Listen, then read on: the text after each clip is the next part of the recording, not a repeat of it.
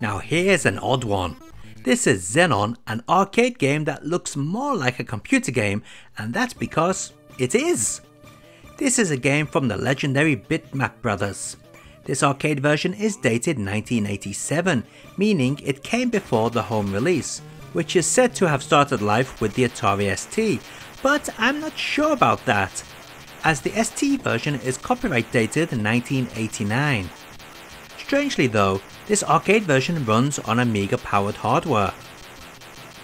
Now I can tell you for a fact that if I saw this game in an arcade it wouldn't have been given a second glance, and I'm sure many of you think that too.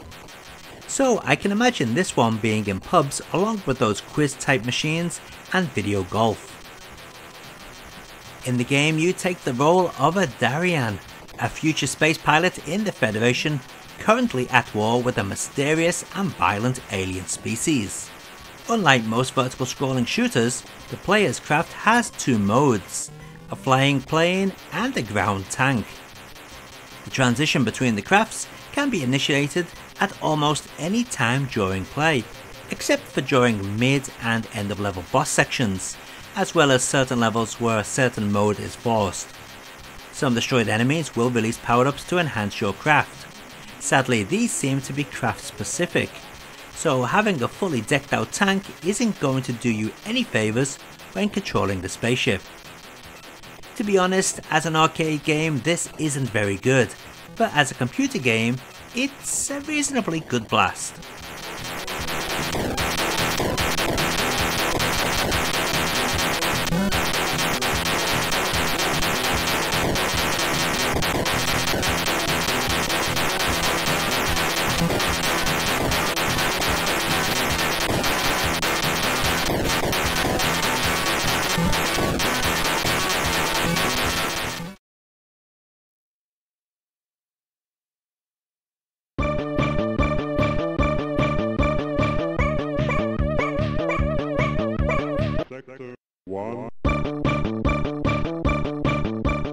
Here we go with the home Amiga version. The first thing you'll notice is the copyright date of 1988, meaning it came after the arcade version. And as a result the gameplay has been tweaked a little and maybe not in a good way.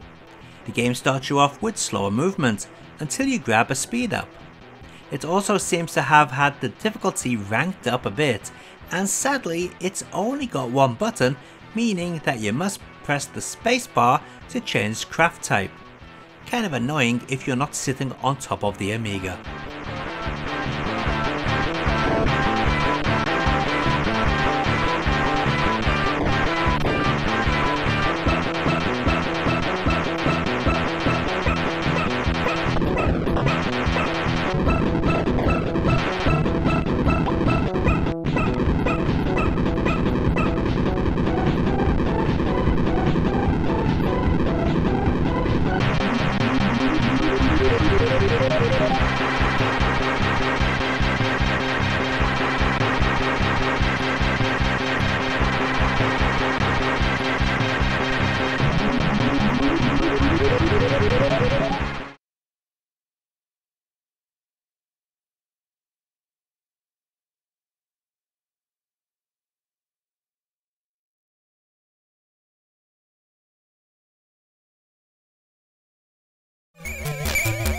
Sector 1.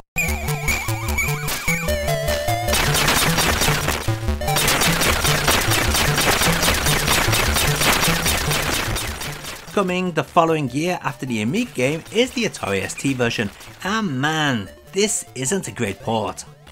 While it basically looks just like the Amiga game, it sure doesn't sound as good and man is it bad when it comes to slowdown. It's like playing a Super Nintendo shooter. Still, I do feel that this ST version is less demanding thanks to the more lenient life bar.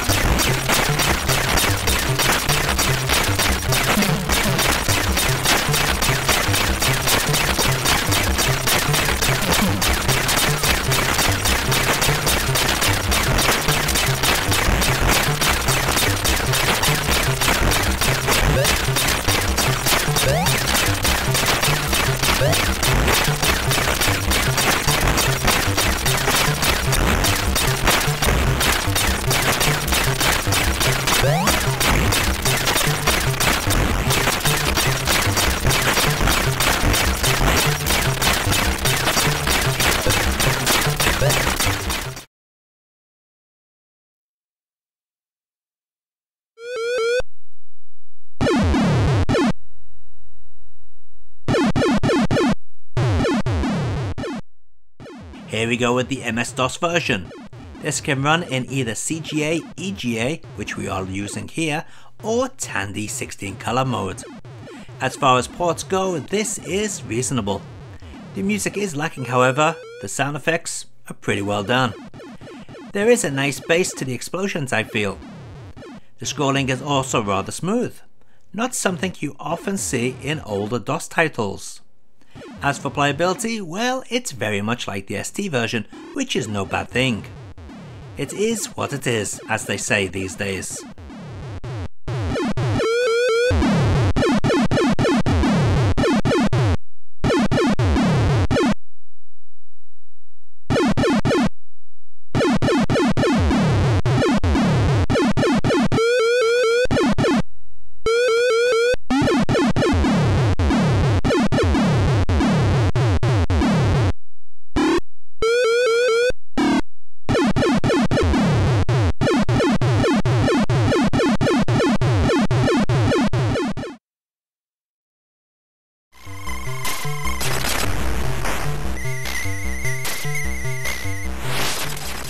Okay, on to the 8-bit port, starting with the ZX Spectrum version, and what a nice surprise this is.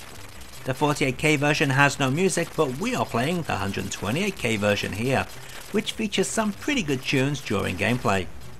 As for looks, well, I'm sure you can see that it's not bad at all. Detailed backgrounds and projectiles, which are easy to see. The game even plays pretty good too, there is quite a bit of slowdown in there and the turrets seem to lack any powered up drops, but overall it's not bad at all.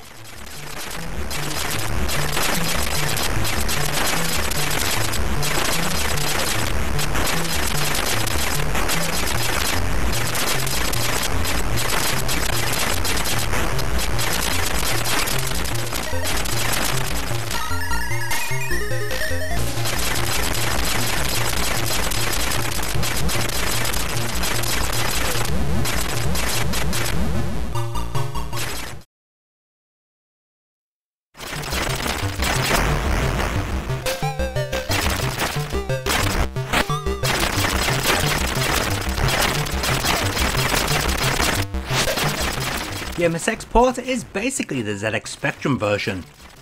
Now the original release was apparently much worse than the version you are now seeing. It is said to have incredibly jerky scrolling, poor audio and only one button control, meaning you had to use the keyboard to change ships, even though the MSX has two independent fire buttons. Unfortunately, or maybe fortunately, I could find the original game only this enhanced version.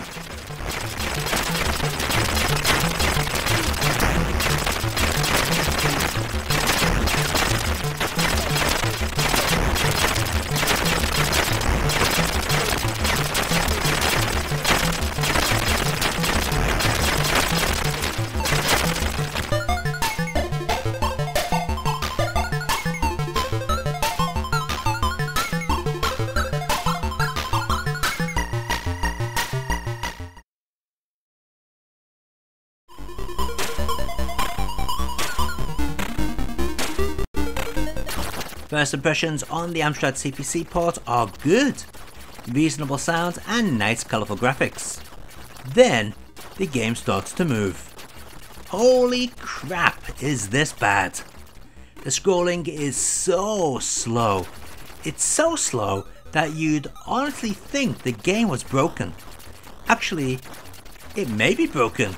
I have no idea how the hell I'm meant to change into the spaceship. Not one button on the keyboard worked, and it certainly wasn't the joystick's fire button because that fired the guns of the tank. A terrible port if ever there was one.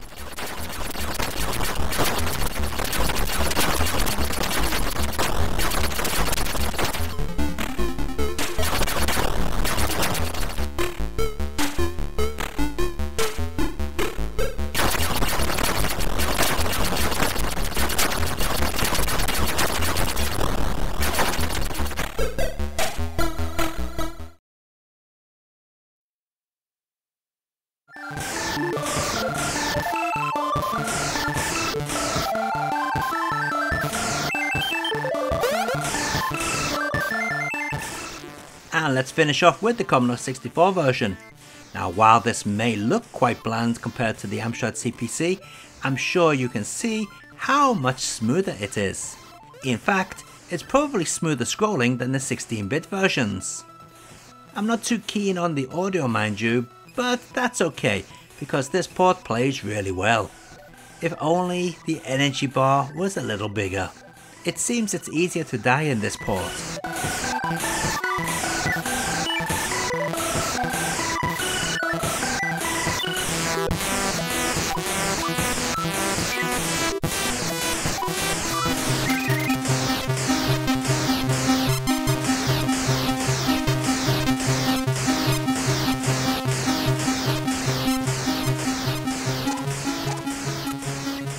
And let's take a look at all those versions of Xenon running side by side.